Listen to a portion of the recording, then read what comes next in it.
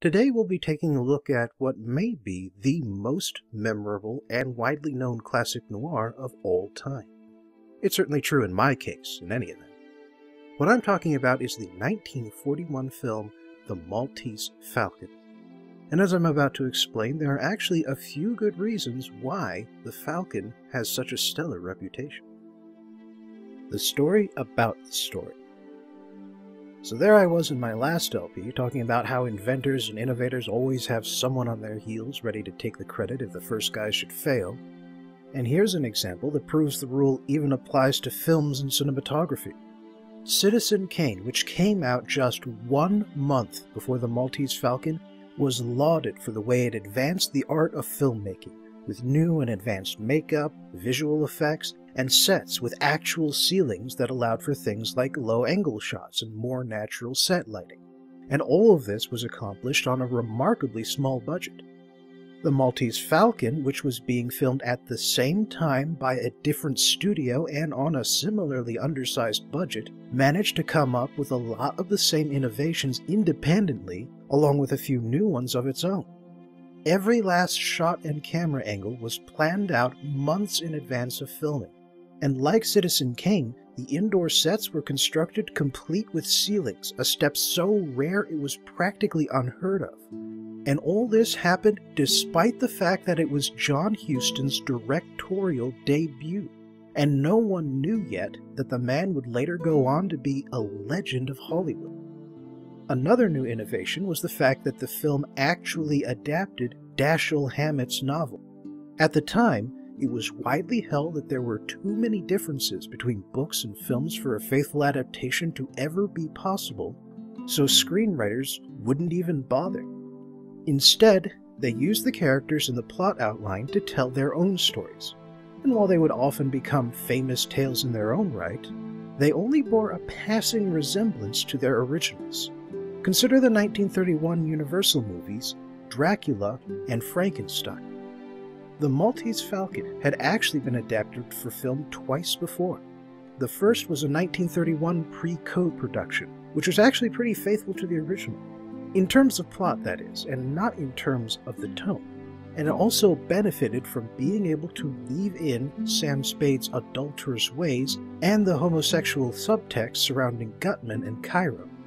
However, the film wasn't particularly successful thanks to being one of the awkward children of the first talkie generation, and attempts to re release it later were blocked by the Hays Censorship Office.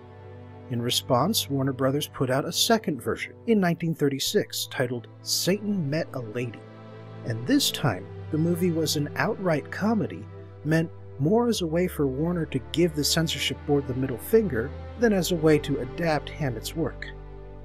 The Maltese Falcon also happens to be a continuation of the story surrounding an earlier film, High Sierra, which was released in January of 1941. High Sierra was Humphrey Bogart's first ever leading role. He'd been stuck with tough guy gangster roles up until that point, and it was also the last hit film John Huston needed to write in order to get his chance to direct. The two men were actually longtime friends and drinking buddies, and they would go on to collaborate on several more famous films in the years to come. Another two actors with interesting histories are Peter Lorre and Sidney Greenstreet. Lorre was a Hungarian actor who was big in the German film scene before the Nazis killed it, most famously appearing as a creepy pedophilic serial killer in Fritz Lang's M. As a Jew, Lorre wound up fleeing Germany in 1933, and The Maltese Falcon was his first major role after coming to Hollywood. Meanwhile, Greenstreet was a stage actor of some renown who wound up crossing over from Broadway after a personal request from Warner. As it turned out, the shifty Lorre and massive Greenstreet were such a perfectly mismatched pair, they went on to appear together in nine separate films. The story The movie begins with a historical text scroll, but it's inaccurate to history and to the film, so let's just ignore it. After establishing that we're in San Francisco, we go to the office of Sam Spade and Miles Archer, private detectives, and their secretary, Effie, lets in a lovely young woman covered in furs. She says her name is Wonderly, and she's looking for her sister, whom she believes has run away with a man named Thursby. Partway through her discussion with Sam, Archer comes in and promises to tail Thursby personally. However, in the next scene, the only scene in the movie which isn't told from Sam Spade's perspective, Archer is at the corner of Bush and Stockton when someone comes along and shoots him dead. Sam gets word of his partner's death soon after. The first thing he does is call his secretary and tell her to break the news to Archer's widow Iva so that he can keep his distance. He then goes down to see the body and talk with Tom Polhaus, a police detective, who explains that Archer didn't have his gun out. The shooter was close enough to burn Archer's coat with a flash, and he still had money on him when he died. The implication is thus that someone Archer knew shot him over a personal matter. Notably, Sam isn't particularly put off by his partner's death, and he seems somewhat more curious when he discovers that Wonderly has already checked out of her hotel. Later on, Sam gets a visit from Tom and another detective who start by asking him questions about how Archer's wife is doing and how many guns Sam owns. Sam grows understandably agitated at this point, so the cops get to the point. While they doubt that Sam killed his partner, he did disappear for a while after he left the murder site, and soon after, Thursby showed up dead from four bullets in his back. The next morning, Sam heads to his office and discovers Iva waiting for him. Their affair is subtextual thanks to the Hays Code, but it's clear enough that there's something there, and Iva thinks Sam killed Archer so that he could have her all to himself. Sam isn't too happy about her attitude and shoos her out, after which Effie comes in and points out that Iva was apparently out and about when Archer died too. But then Wonderly calls and asks Sam to come to her new apartment. When he arrives, Wonderly explains that her real name is Brigid O'Shaughnessy, and her earlier story was a lie, a lie which Sam already knew about.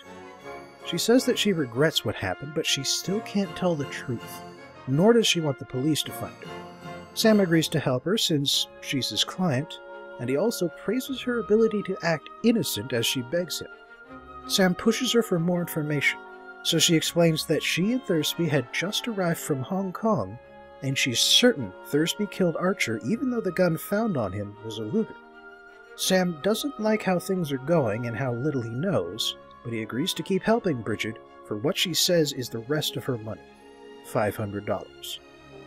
That evening, Sam is back at his office when Joel Cairo, played by Peter Lorre, drops by and asks Sam to find a bird figurine on behalf of his client, offering $5,000 in exchange. However, Cairo then pulls a gun on Sam and states that he'll be searching the office now, thank you, Unfortunately for him, Sam knows a few things about wrestling a gun away from someone at point blank range. And after knocking him out, Sam searches Cairo's pockets and discovers a handful of foreign passports, a theater ticket, and a perfumed handkerchief. When Cairo wakes up, he's remarkably calm about the whole situation and only seems puzzled over why Sam bothered to fight back when the bird isn't in the office. But Sam explains that this was because he doesn't like being held up and so Cairo reiterates his $5,000 offer, and then searches the office at gunpoint again as soon as Sam gives the gun back. Sometime later, Sam loses a tail and then heads back to Brigid to see what she has to say about Cairo. They wind up kissing, but Sam still can't trust her, so they arrange to meet with Cairo at Sam's apartment.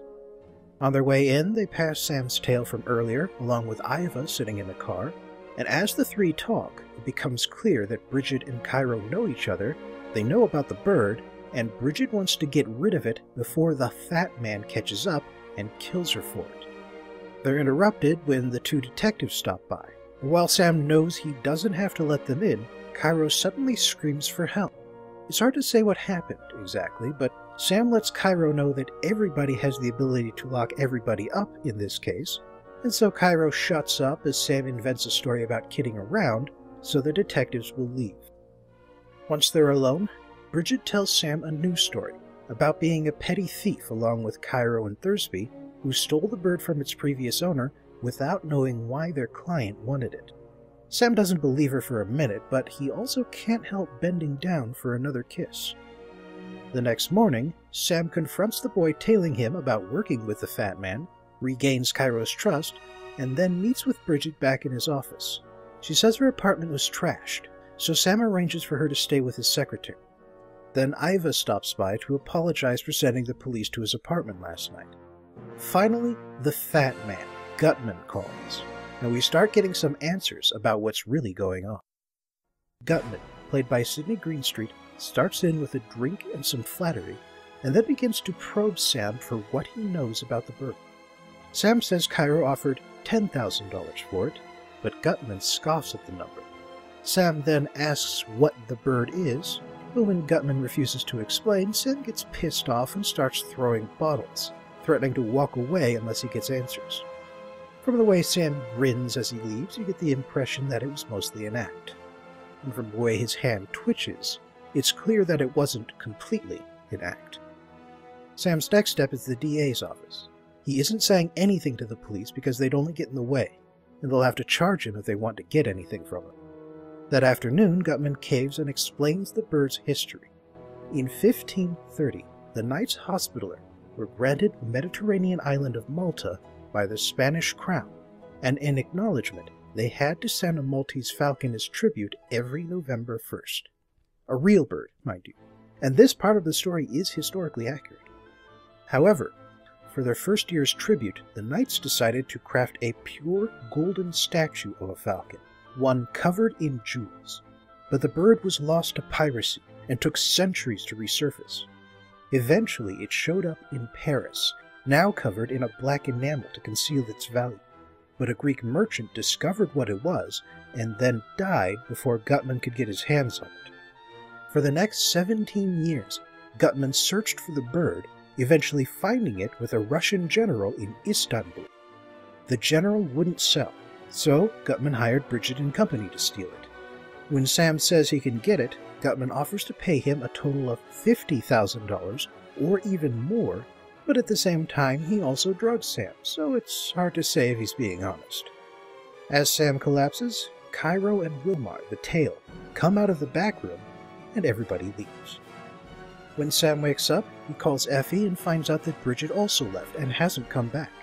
He then searches the apartment and discovers that Gutman was interested in a ship called La Paloma, which was arriving that day from Hong Kong. When Sam gets there, the ship is burning down. Fortunately, it's empty, but Brigid is still nowhere to be found. But when Sam gets back to his office, the ship's captain comes in carrying a wrapped parcel and dies on the office couch. The parcel is the Maltese Falcon, and Sam immediately conceals it by having it checked at a random hotel and mailing the ticket to his post office box. Meanwhile, Brigid calls and seems to be in trouble, but when he gets to her location, he finds an empty lot and nobody in sight.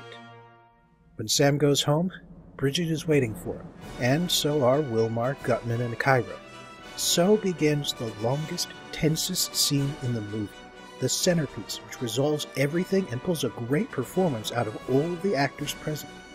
Sam says he has the Falcon, but he needs a fall guy to take the rap for the three murders.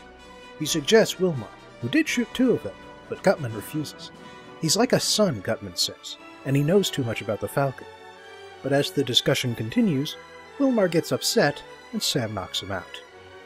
Gutman then explains everything that happened. He approached Thursby to make a deal for the Falcon, but Thursby refused out of loyalty to Brigid, and Gutman made an example out of him. The ship captain was likewise one of Brigid's allies, and in the course of their second escape attempt, Wilmer shot him. And the earlier call was Gutman's ploy to get Sam out of the office before the captain could arrive. In the end, they decide to blame everything on Wilmer, and Sam calls Effie to get the package for him. When it arrives, Gutman eagerly tears it open, and we see the Falcon for the very first time. We even get a nice 360 spin for the camera. However, when Gutman starts chipping at the enamel, he discovers that it's a lead copy. And while they're busy with that, Wilmer slips out the door. Cairo realizes that the Russian general must have made the copy when he found out how valuable it was. And for his part, Gutman looks like he's ready to have a heart attack. But then, he cheers up. They may not have the Falcon, but they know where it is. And what's another year or two after spending 17 tracking it down?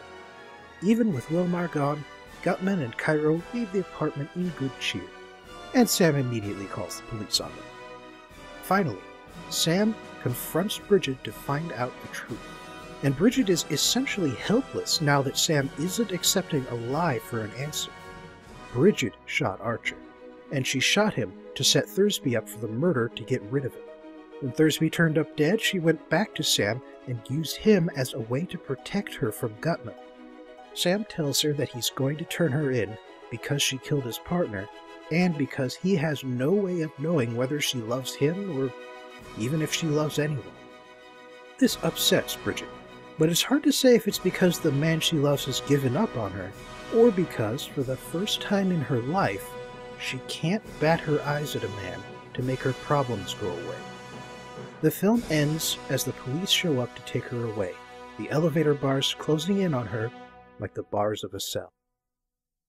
Final thoughts.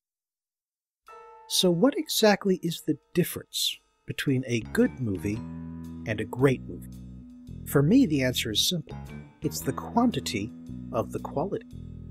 If a film gets one thing right, it's at least worth seeing. If a film gets several things right, it's worth seeing more than once. But if a film gets everything right, ah, then it becomes a classic that can cross generational boundaries and become a cultural touchstone that can easily outlive the era that spawned it. A film that gets everything right has a soaring score that can stand on its own and yet incorporates itself so deeply into the scenes that you can hardly remember it. It has cinematography that perfectly captures the visual language and tone of the movie, so perfectly that the viewer doesn't even realize what the camera angles are doing to their perception. It has sets and lighting designs that reinforce the movie's setting and themes and capture the essence of the film's reality even when it isn't realistic. A great film is stocked with great actors who know exactly how to play their roles and play off one another, and it has a director who can fix whatever mistakes are made until all that's left is exactly right. It has a story that can make anyone shut up and think about it and themes that are both obvious and thought provoking. A great film also has a symbol, a hook, something you can boil down into the shallow soup of pop culture but which doesn't completely lose its shape when it's taken out of context. The Maltese Falcon itself, the stuff that dreams are made of, serves that purpose for this movie.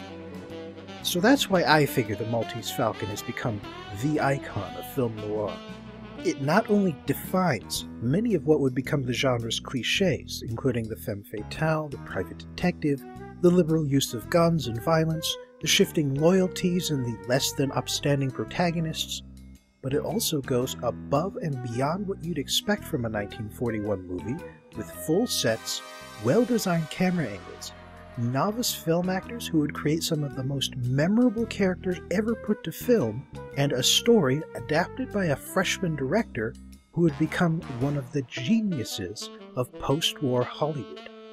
So, yeah, when you put all that together, I'd say it's easy to see how the Maltese Falcon would become such a hit.